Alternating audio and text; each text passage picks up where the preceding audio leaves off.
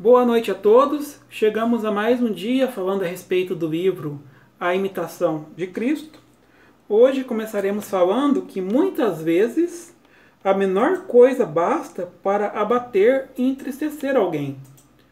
Temos muitas e muitas bênçãos na nossa vida, mas o mínimo que aconteça de ruim, a pessoa já fica deprimida, no sentido de triste, é, no sentido de abatida.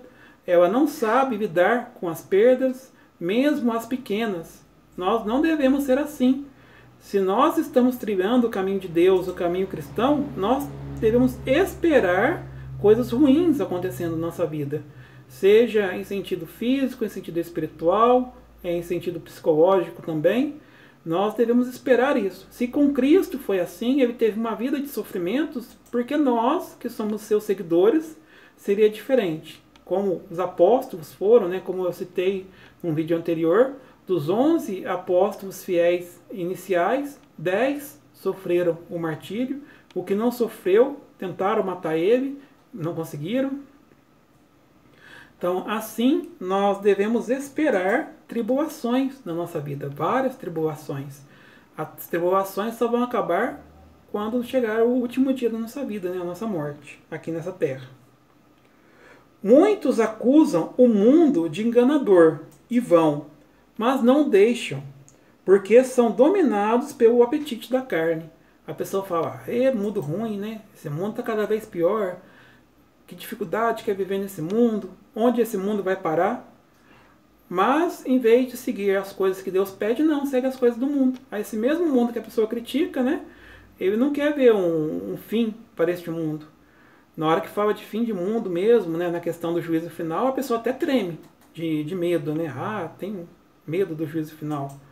Mas fala mal do mundo, mas não quer largar o mundo. Então, é uma contradições que muitas pessoas têm. Então, nós devemos principalmente temer mais pecarmos mortalmente neste mundo do que a própria morte em si. Pois a morte sem pecados mortais é a abertura para a porta dos céus. A morte com pecados mortais, infelizmente, nos levará ao prejuízo eterno. Quem se considera o mais vil e se julga o mais indigno de todas as coisas e de todas as pessoas, é o mais apto para receber os maiores dons. Pois quem está mais perto de Deus é aquele que mais se reconhece pecador. A pessoa que está perto de Deus, só de ter um pensamento ruim, vamos supor que seja um homem casado, só de ter um pensamento ruim, é, sensual com alguma outra mulher, por exemplo, ele já se repreende e fica todo entristecido de ter tido aquele pensamento ruim, mesmo essa tentação tendo vindo e passado e ele superado essa tentação. Agora, o homem que está longe de Deus, um homem casado que está longe de Deus, ele vai ficar olhando para as mulheres, se tiver oportunidade, ele vai trair a sua esposa e não vai ter peso nenhum na sua mente, peso nenhum no seu coração, porque ele está longe de Deus. Ele não vai se achar pecador, enquanto aquele que teve uma tentação, que nem chegou a ser um pecado às vezes, se acha o mais vil dos homens, o mais baixo dos homens. E aquele que comete inúmeros pecados acha que não tem pecado. Deus sabe o que é conveniente dar a cada um e não cabe a nós questionar. Então, às vezes a pessoa reza, faz as suas orações, né, pedindo muitas coisas para Deus. Ah, Deus, se me der isso, eu vou ter condições de te adorar de maneira melhor, vou ter condições de ajudar melhor os pobres, vou ter condição de ser um bom, melhor pai de família, uma melhor mãe, e assim vai. Mas Deus, ele muitas vezes ele está escutando aquela oração da pessoa e sabe que a pessoa não vai fazer nada daquilo. A pessoa vai usar talvez esses recursos materiais ou aquilo que está pedindo para outras coisas e que vai esquecer de todas as suas promessas. Mas mesmo aqueles que talvez sejam pessoas que estão orando com beldade, né, dizendo a verdade mesmo, né, é, que vão fazer aquilo, Deus também não vai prover tudo para todos. Né? Deus só vai, vai prover aquilo que é necessário para a nossa salvação. É, a questão dos milagres, né? Talvez nós estamos é, rezando né, para a cura de uma pessoa, nós estamos rezando para que a pessoa melhore, mas nós devemos ter em mente que Deus, né, ele só vai agir, é, às vezes tem algumas exceções, mas ele só vai agir na cura daquela pessoa se isso envolver principalmente a salvação da alma ou daquela pessoa, ou se essa pessoa ela vai ser importante para a salvação da alma de alguém. Pois se a pessoa, ela, por assim dizer, ela já está no caminho da salvação e ela chega a falecer, né, mesmo com as nossas orações para que isso não ocorra, ela já ganhou uma recompensa celestial. Então Deus ele vai priorizar isso, aquelas pessoas, né, é, uma cura, principalmente para aquelas pessoas que vão ser importantes para a salvação de outras pessoas.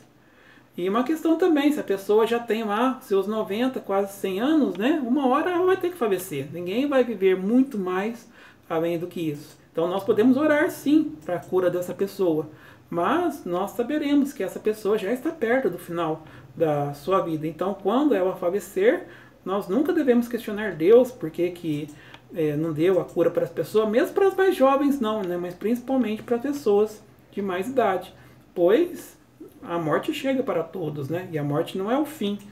A morte é o começo para os que agradam a Deus da melhor vida, da verdadeira vida.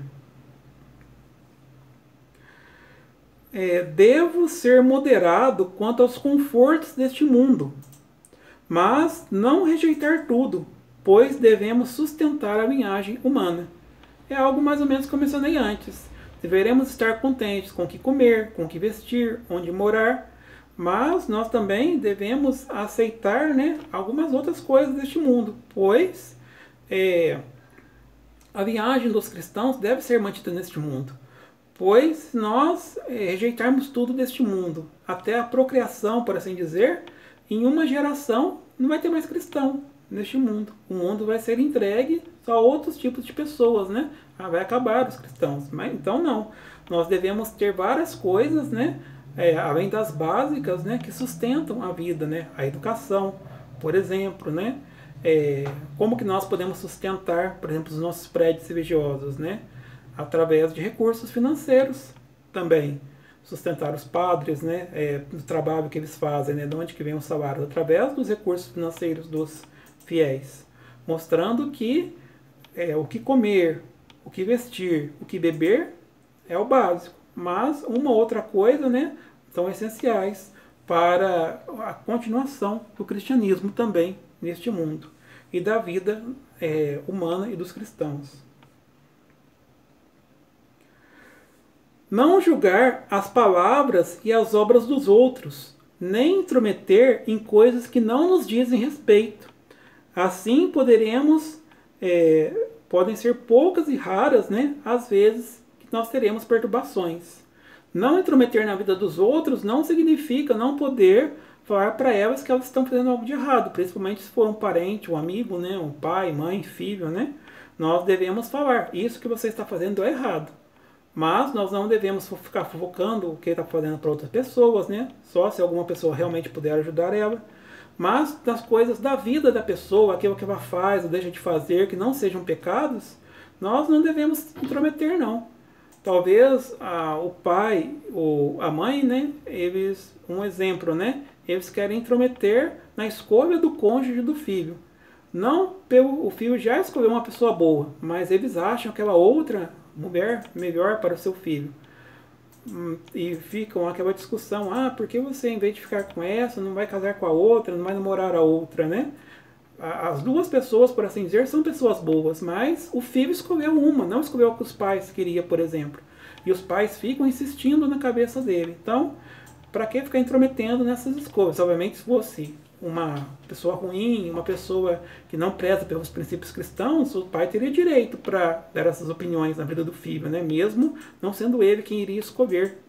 Mas, é, quando são pessoas excelentes, né? pessoas cristãs, é, o pai pode até falar, eu preferia tal pessoa, mas não deve ficar brigando com o filho pela escolha que ele fez.